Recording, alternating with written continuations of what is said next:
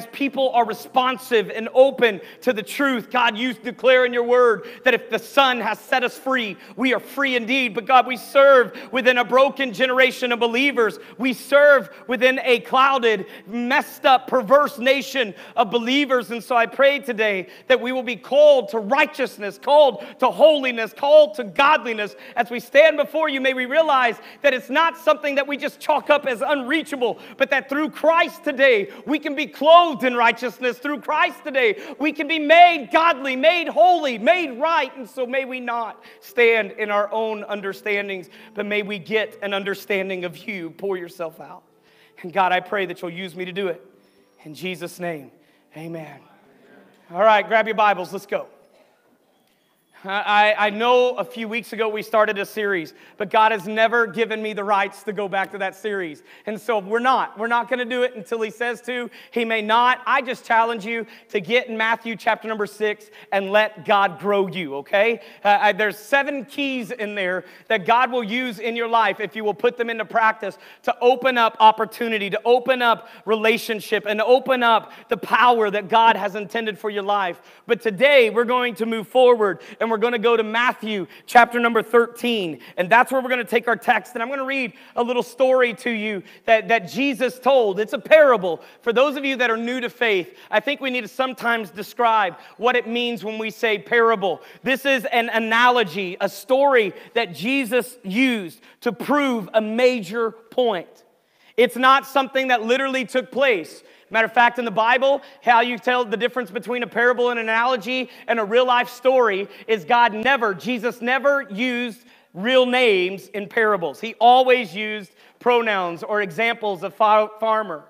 I've had people come to me and say that they believe that the parable of hell, where Lazarus and the rich man were, was just a story Jesus told. But Jesus did not use real names in parables. That's a literal story. There is a heaven, there is a hell. Good news. Hell wasn't made for you, heaven was. Hey, hell was made for the devil and his demons, the Bible says. However, those that reject God wind up there. And some people want to excuse that that doesn't exist. It absolutely does. But here's great news. Ready? Even more powerful than hell could ever be is the love of God, and that love is available to you today. And so in here, you see Jesus telling the story. So if you would pick up with me in, in, in, Matthew chapter 13, verse number 24, it says this Here is another story that Jesus told. The kingdom of heaven is like a farmer who planted good seed in the field. I want you to write in your margin or write in your notes, meaning this that God is still planting seed today. That God is still putting a, an abundance out there. We live in a wicked world, but there's still the goodness of God, the glory of God, the grace of God, and the power of God available. And you may watch the news and you may get caught up and you may get broken with everything that's going on around you, the wickedness and evil that we see raking havoc in the lives of people that we love or in the country that we love. But today, in the midst of all of that, the farmer, which is referring to God in this story, is still planting good seed. May you and I be a seed that he planted that brings forth an abundant harvest today. But look at what it says. In verse number 25, it goes on. It says, But that night, as the workers slept, his enemy came and planted weeds among the wheat, then slipped away. Now, I want you to understand this too that, that evil is still at work. That the enemy today is still trying to plant seeds in your life too. And the purpose of that seed is to steal from you or rob from you the intentions that God has for you and desires that God has for you. The purpose of that, that attack is so that the life that God is offering be choked out by the lies that are being offered by the world around us. Now, we're going to examine the weed and the wheat today. And the question I'm asking is who are we letting plant the weeds or the seeds in our life today? And so, in this, look at the, the next few verses, and then we'll back up and we'll look. We're going to read down through about verse number 30. And it says, verse 26 When the crop began to grow and produce grain, the weeds also grew. And the farmer's work, uh, workers went to him and said, Sir, the field where you planted that good seed is full of weeds. Where did they come from? And the farmer replies, verse 28, an enemy has done this, uh, uh, the farmer said, exclaims. So uh, the, the workers in panic, should we pull the weeds?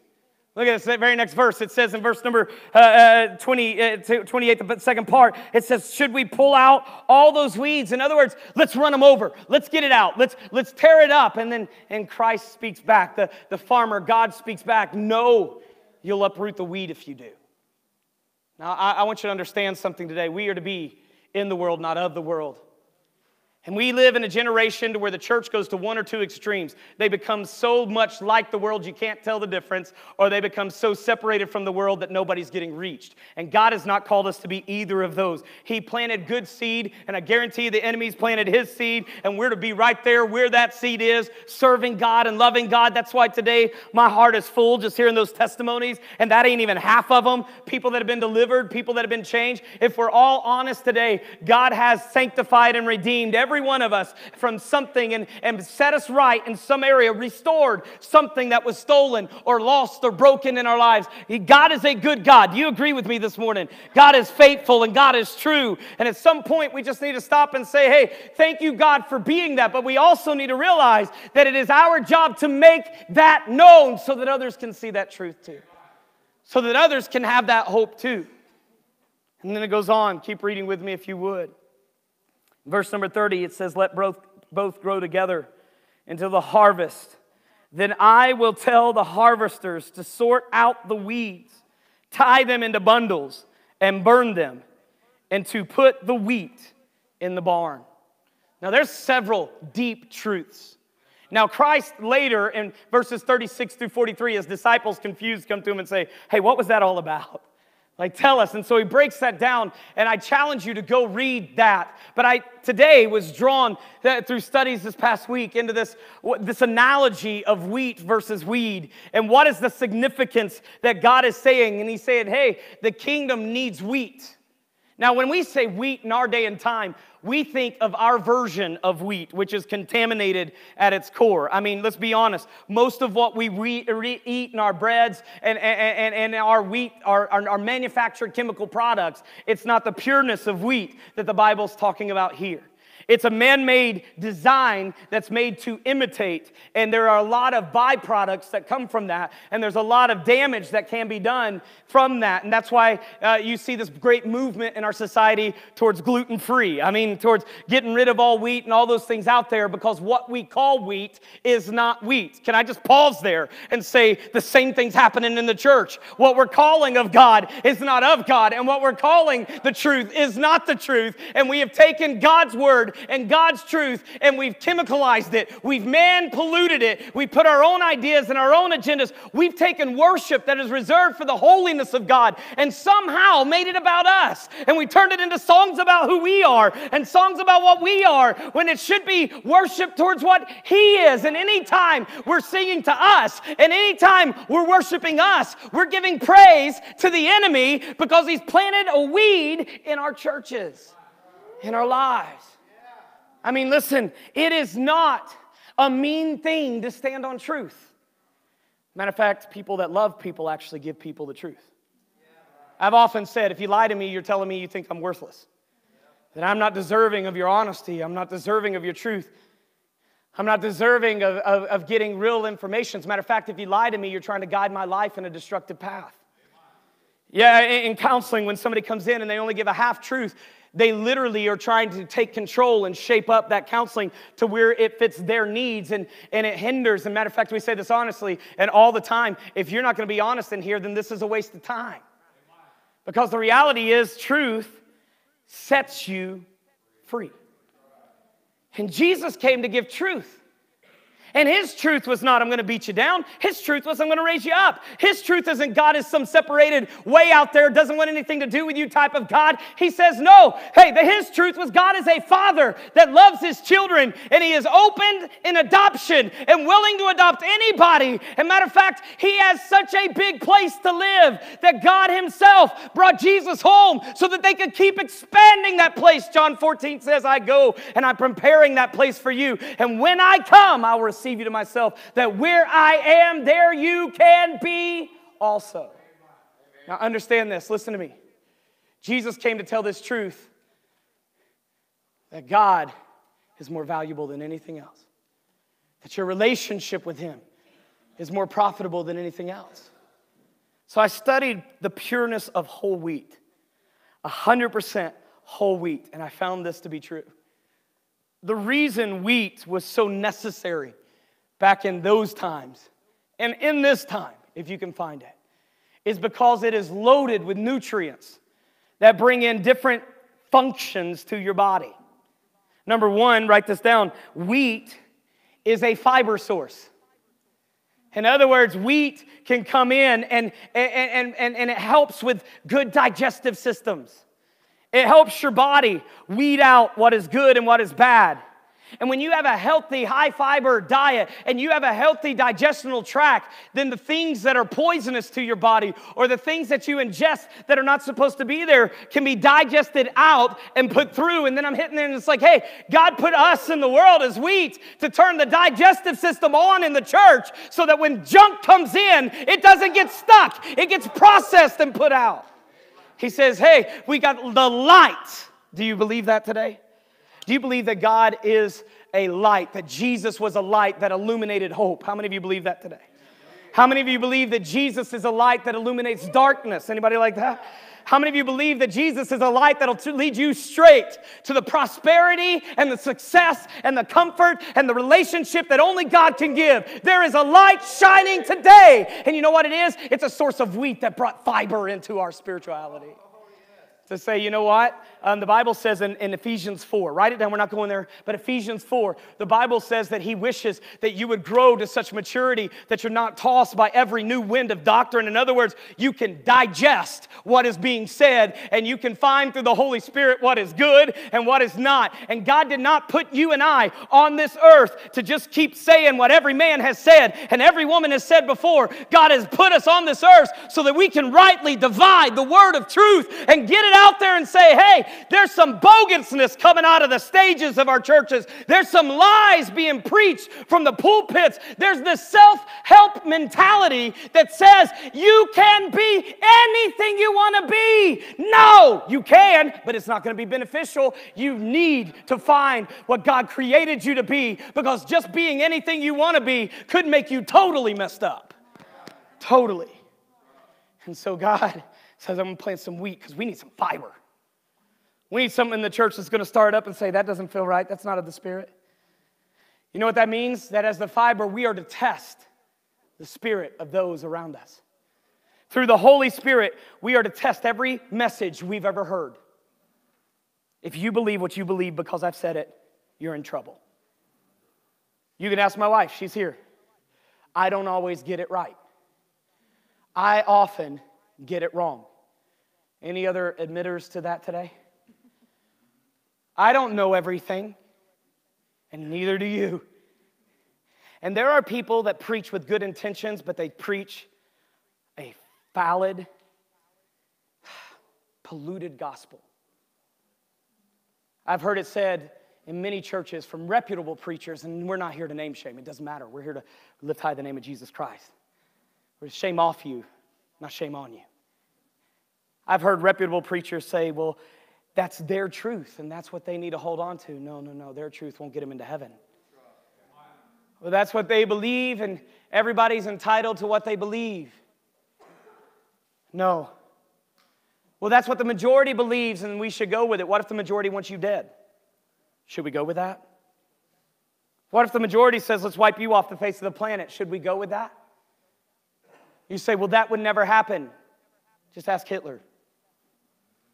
Just ask that Nazi movement. Is that, is that true that that would never happen? Or did 17 million people get slaughtered in a world war that should have never taken place?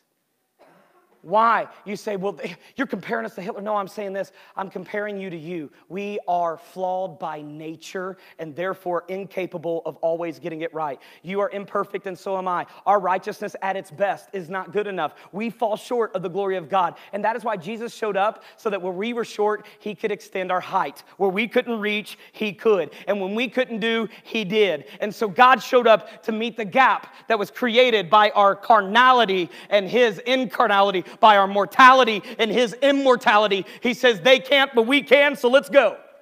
And in there, He's planted His seed in you so that today, those that don't believe they can can find that they can do all things through Christ. And those that don't believe there's hope can find that there's hope in any situation. And those that don't believe they can make it can find what they need to get up and go again. But today, if you don't know what you believe, then how can you stand on anything? I mean, most people are standing on ideas, and ideas will fail you. They're standing on a good quote, and a good quote will fail you. I once gave this analogy, I'll give it again. Motivational speaking is like me coming to you today and saying that you can float off the ground, and all you've got to do, reach down, grab your feet, and pull them up, and you will float. The truth, you will for about one second while your hind end is on its gravitational fall straight to the ground. There is nothing you can do to lift yourself up today. And motivational speaking says, hey, grab yourself and pull yourself up. I'm going to tell you this now. You're going to fall down doing that. In other words, it's like this I need Him to reach into my pit of despair and pull me out and establish me on a solid rock. I need the word of truth to be the compass and guide of my life. I need Him, and so therefore, I am going to digest what you say to me.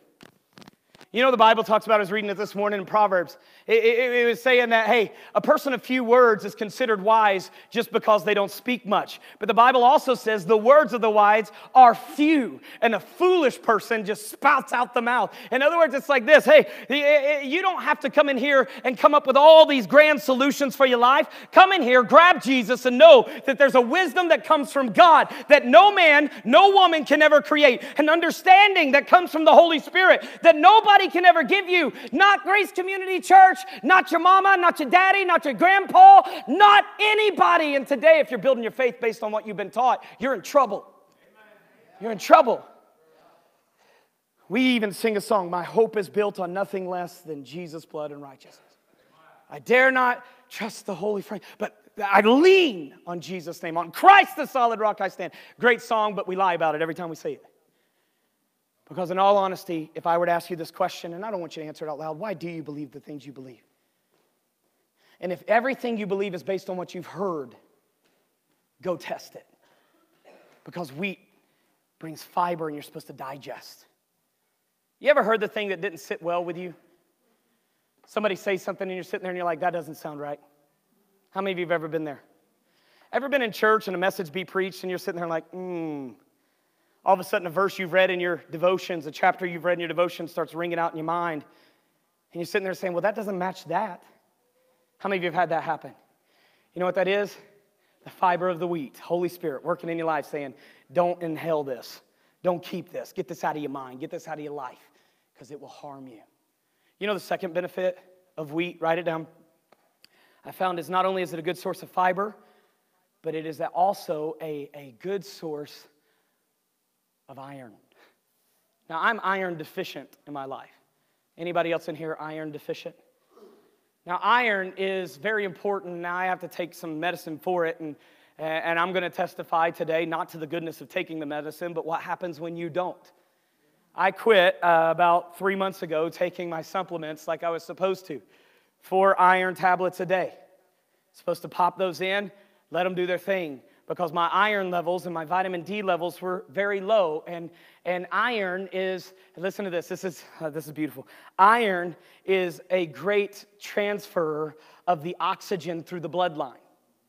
And the Bible, I, I read this on, uh, on a government official health website. They said this listen, that when you have the right amount of iron in your system, that the blood flow becomes so healthy that it actually fights headaches because it delivers the oxygen the brain needs to be able to function at its best. And it fights fatigue. It actually gives you energy because your, your muscles and your cells are being nourished. You know, when the wheat of God has been planted and we become what God intended for us to do, the bloodline can flow very clearly and it can give sources of strength to those who are weak, and it can give life and function, awareness to those who walked in darkness. The absence of those two uh, supplements in my life have led to me. I was telling my wife, I said, I am so tired all the time. Like I feel like I could just lay down and sleep anywhere. You know, I, have actually even said things, my mind isn't working like it used to work. I can't keep things used to. I could have a conversation with somebody, remember what they were wearing, where they were standing, where we had it, the specific day, all the way down to their eye color. I could remember everything. And then in the past three months, I've, I've had a hard time holding on to thoughts. A lot of, I don't remember you saying that. I don't remember that happening. I don't remember saying that would be there. Uh, anybody else know what I'm talking about? That's not as old as Bill. Uh, anybody else? All right, I'm just kidding. All right, in that moment, I have this, this, this, this, this reality. I'm sitting there, I'm studying it, and, and so I go to my wife and I'm like, hey, I'm just tired. She, and here's her response every single time Are you taking your meds? Well, no. We'll take them. You know, because uh, we, we can't do, I know what the doctor's going to say. You're going to go to the doctor, and the doctor's going to say, Are you taking your meds? And if you're not taking your meds, there ain't nothing the doctor can do.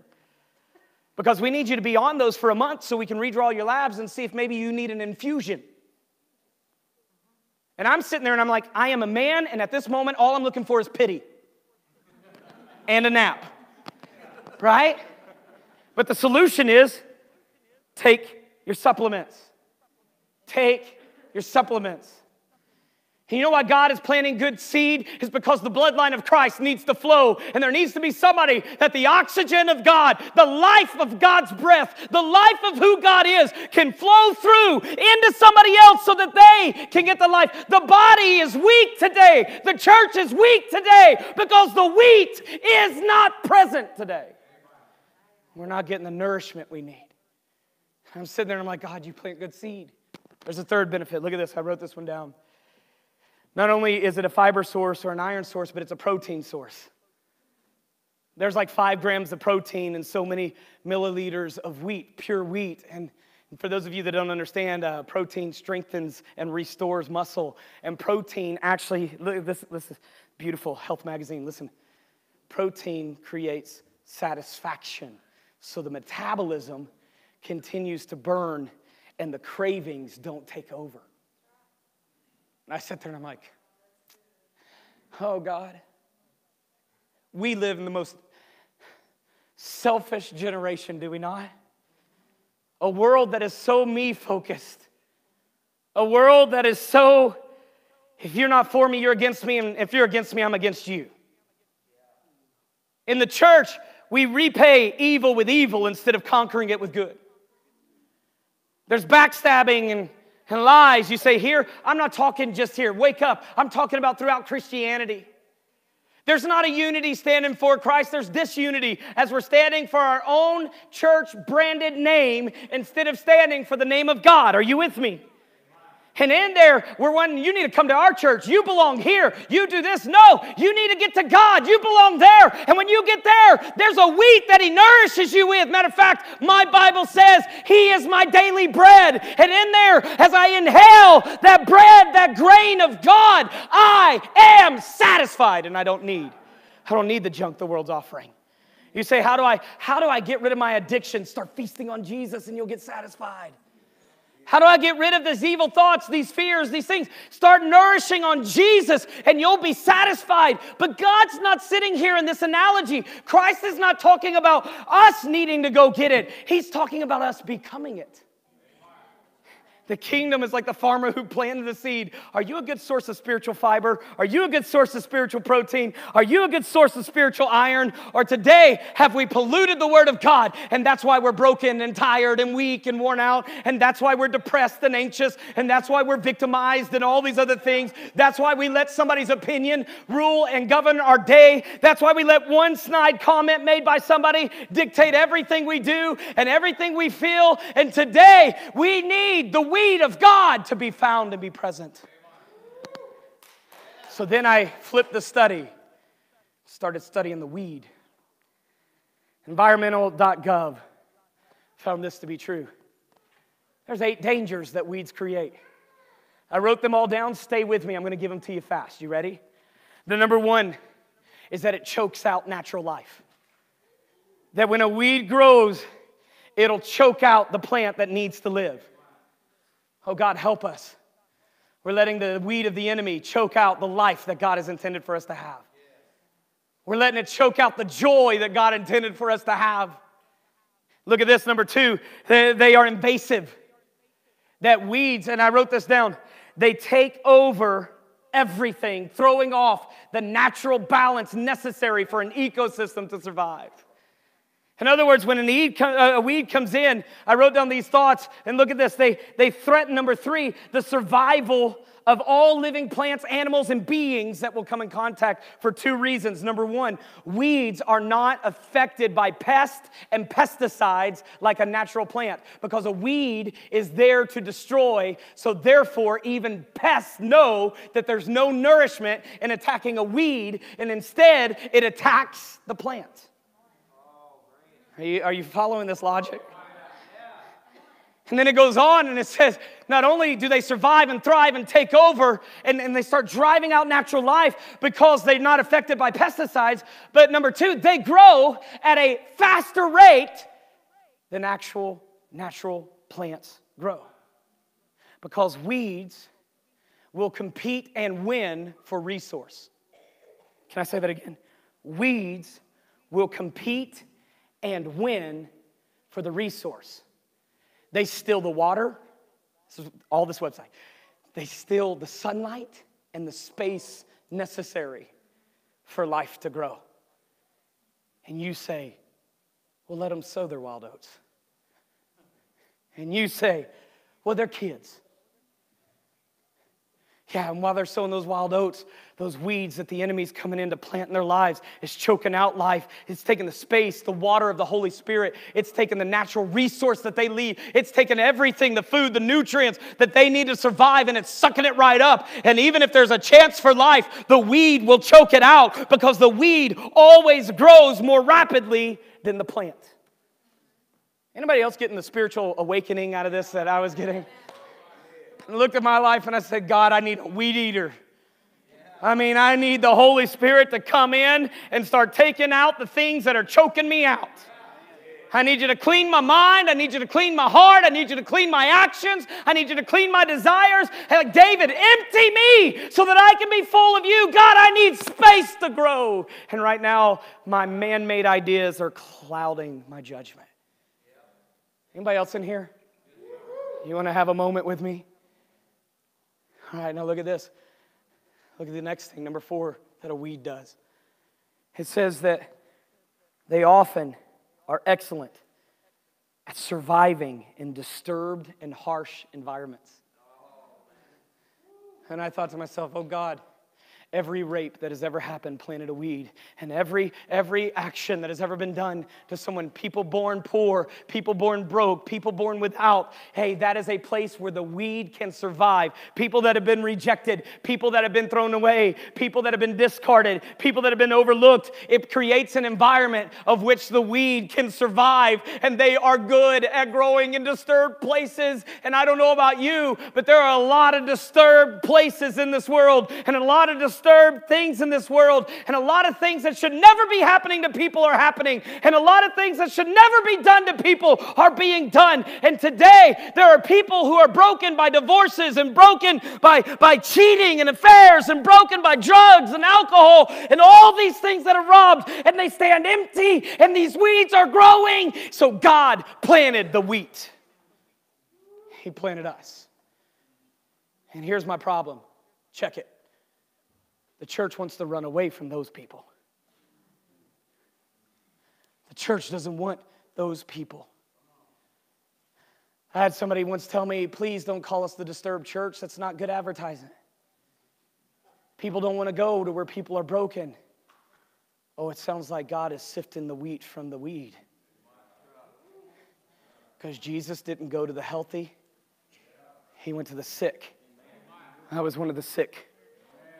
And I am so thankful that he came to the disturbed areas of the world the disturbed minds and the disturbed hearts and the disturbed souls. He rescues the kid from abuse and gives him purpose. Are you with me? The church should be going where the weeds are growing. The church should be running in because God has planted good seed. Number five, Weeds contaminate produce.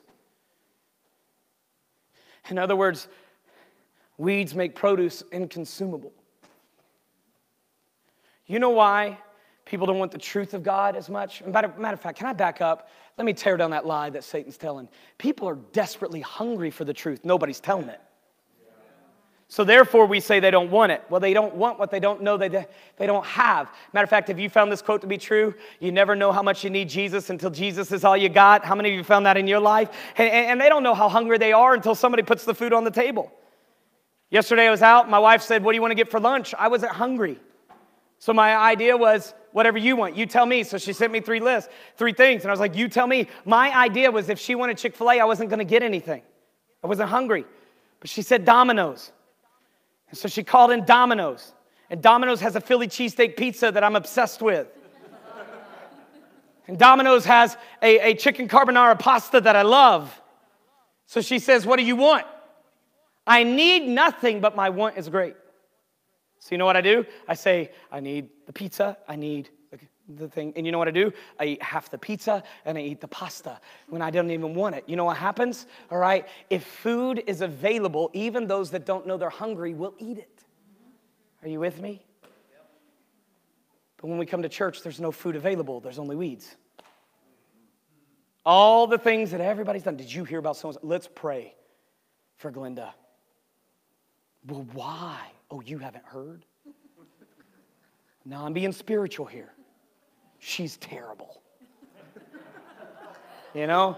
I'm concerned here. She's messed up. And I'm picking on Glenda. If you don't know who she is, she plays the piano. Now I've really pointed her out, right? You know? They, they, they come in this holiness of gossip. Matter of fact, I read about gossip today. The Bible says that the mind of the liar is the one that will listen to the gossip and the slander. Proverbs. And I wrote my Bible, mm, what are you hungry for? I don't want to hear that garbage. I don't want to hear how bad you are. I know how bad I am. And the Bible says we're all human, so I know how bad you got to be. If I'm this messed up, you got to be messed up. If I can think like that sometimes, you can think like that sometimes. And if I can do that and say that, you can say that and do that. So stop pretending you're something better than me. I see right through you. Do you see right through me? I'm hoping because the more transparent I come, hopefully God's more seen and God's more evident because I know how messed up I am, but I'm not messed up anymore. I'm a child of God. I'm a delivered saint. I'm brought into a family that I don't belong. And so instead of claiming my identity as all the things that I've done, I'll claim my identity based on what He has done. And instead of standing in who I am, I'll stand in who He is. And when someone sees me, my prayer is that they see Jesus. And it should be the same with you. Why? Because people are hungry. Let's give them something to eat but weeds will harm the produce. Number six, weeds can be poisonous. And here, here's the kicker. You know what they said? The danger of a poisonous weed is you cannot identify them from a non poisonous weed. They all look the same. They all have different shapes, forms, and different plant lives, absolutely, but they all just look like weeds. And when certain, there's certain weeds that if they scrape you, they can infect your whole body. They can get in your bloodstream and kill you. There's certain weeds that if you eat them, they can cause you to go blind.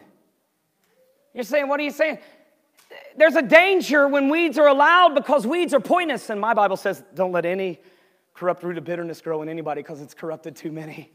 It's a weed. Hey, my Bible says God didn't give you the spirit of fear, but power and love, sound mind. Fear's a weed. God didn't say, hey, God didn't give you the right to go talk down to somebody or about somebody. Matter of fact, the Bible says those that belittle, God will get even with in Proverbs. But it also says that those that encourage, God will lift up. Hey, understand this today. God looks at you and God looks at me and He says, hey, there needs to be no weeds. Why? Because when we have unforgiveness and we have those things, it poisons our minds, it poisons our life, and it poisons the way we live. And so God God plants his seed, and so here comes the enemy to plant his.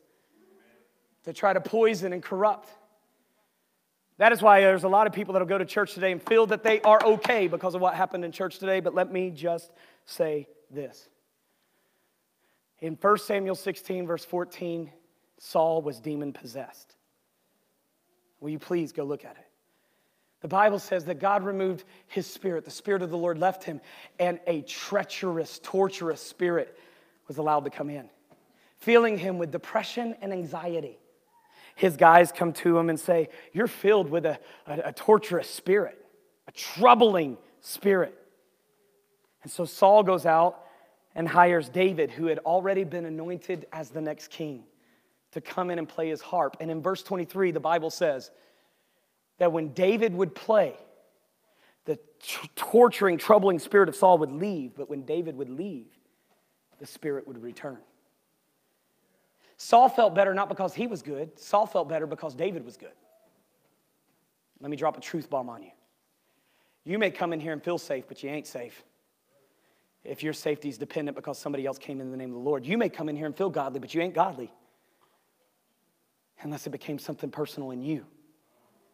The Bible says laughter can hide the grieving heart, but when the laughter fades, the grief remains. You see, you know what I'm telling you? Here, here's this that David was so full of God. Why? David played his harp in the field just to sheep. David played his heart just to praise when he was by himself. David playing in the presence of Saul was no different than David playing in the field when nobody was present. Why? Because David was playing for the Lord and nothing else. And when somebody walking in God can step into darkness, that even those that are in darkness find some relief. Why? Because where the Spirit of the Lord is, there's freedom and there's liberty. Where the Spirit of the Lord is, the enemy can't stand. And that's how some of you can come into an assembly of the church where people are and feel godly, knowing good and well that you're living in such sin and such filth that that you have no sense of godliness at all. But when you're here, you feel like you're worshiping and you're jamming and you're worshiping. And then you get back out there and you start beating your wife again. You get back out there and you start thinking about shooting up again. You get back out there and the first thing you got on your mind is your pornography or your alcohol. Or you start lying and cheating and being lazy. And you say, Don't talk about me. I didn't know I was. Here's the thing understand it. Listen. Listen.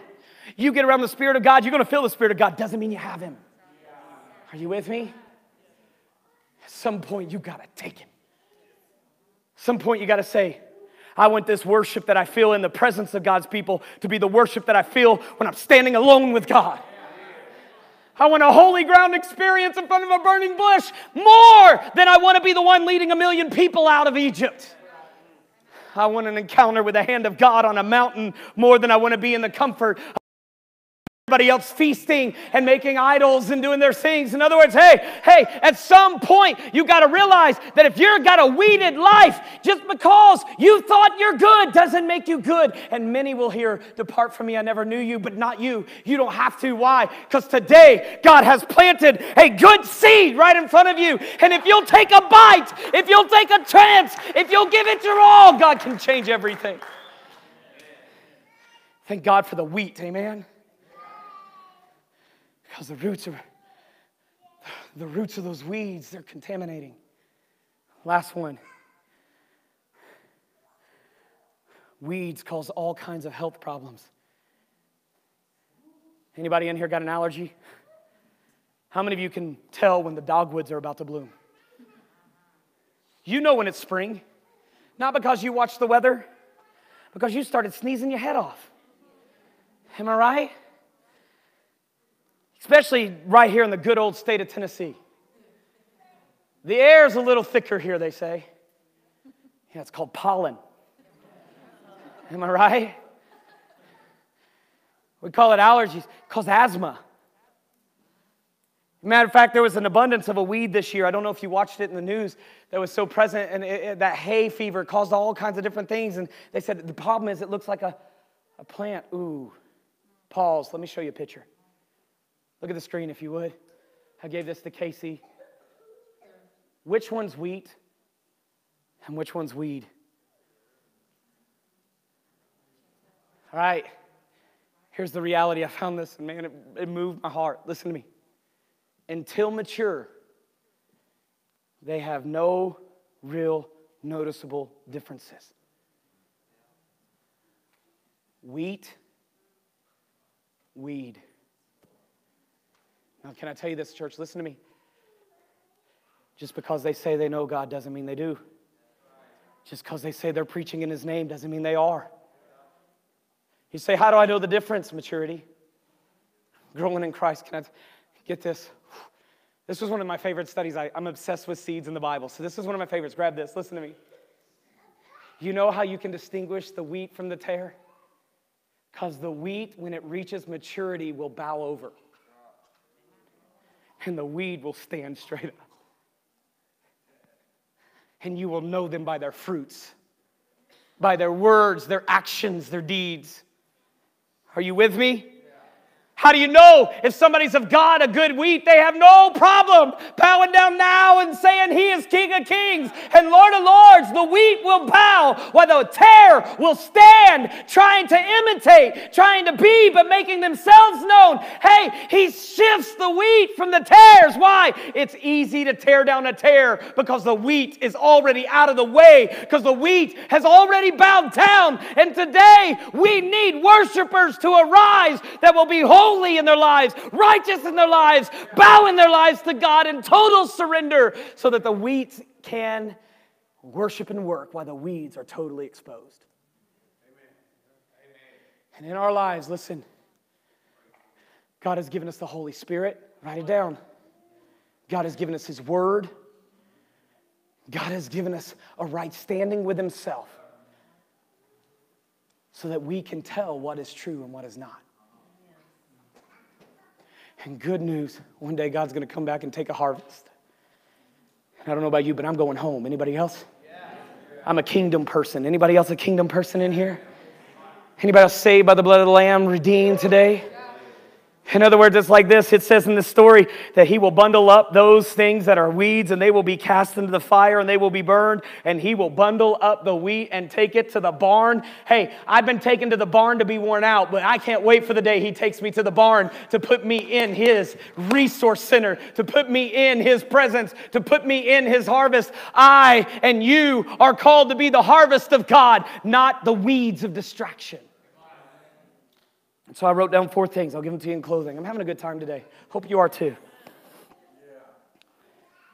Number one, I've already said it don't believe everything you hear. Matter of fact, test, test every sermon, thought, idea, quote with the Word of God. Number two, not everyone who says they're of the Spirit is truly of the Spirit of God. So therefore, judge, I'm going to use that word, their words, their actions, their fruits. And if they are of God, their words will match His, their fruits will match His, and their actions will match His. If they are not of God, they do not love, they do not produce the fruits that God produces, and they do not produce words that God. The Bible says your mouth speaks out of the abundance of the heart. In other words, your mouth is a great symbol of what your heart is. And if your mouth is perverse, then God help, and He will, your heart. Number three, the enemy is and will continue to try to plant weeds in your life, to confuse you, and to keep you from experiencing the wheat in life that God has planted for you. Every person in here needs to realize Three times in Proverbs, we find a verse, start in Proverbs 14 12. There's a way that seems right to man, but the end of it is destruction. It says it again two chapters later in chapter 16. There's a way that seems right, but the end of it is death. Hey, I'm not looking for a feeling of God. I am not looking for an emotion or an emotional encounter with God. I'm just, I'm just looking to have all of God. And good news, He has set the table he has served the bread, and anybody that is willing can have all of Him that they want. Which brings me to the last point. I want you to remember it. That today, God has planted His wheat in us because He plans on three things happening. Write these down. Number one, that we will help others digest the truth. Fiber. We find that in 2 Timothy chapter 2 verse 15. Would you read this verse with me real quick? Study to show yourself approved unto God, a workman that doesn't need to be ashamed because we rightly divide, digest the word of truth. Number two, to help others find strength and satisfaction in their life. God has called us to be a protein source in this world. Look at this verse, Ephesians 4, verse 29. Don't use foul or abusive language. Let everything you say be good and helpful so that your words will be an encouragement to those that hear them. Number three, and we close, to keep the bloodline flowing. To let the blood of Christ, the life giving, the Bible says the power of life is in the blood.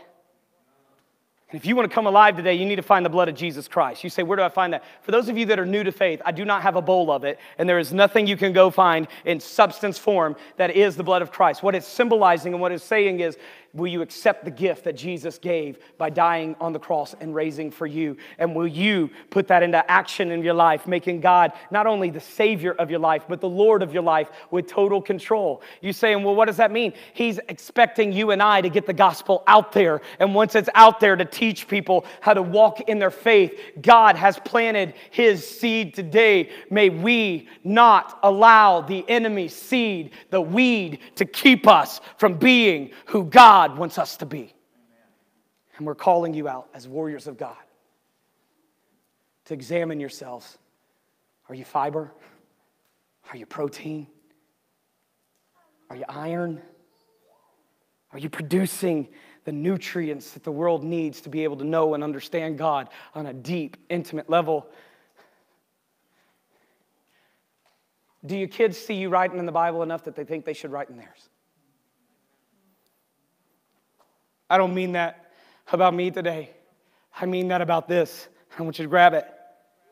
The same kid that sees dad write in the Bible is the same kid that sees dad throw a temper tantrum. Am I working on the, the wheat planting team in my son's life, my wife's life, or am I helping the weed planting team in their lives? So I want you to bow your heads, close your eyes. I want you to examine yourself today. We'll say goodbye to online, and I want you in house to grab this truth. Is there anybody?